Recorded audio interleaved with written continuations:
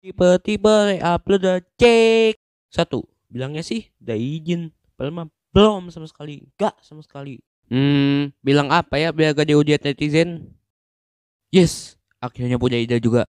Pura-pura udah izin. Dua, asal nyolong tanpa tahu apa-apa. Ada video bagus nih. Upload juga ah.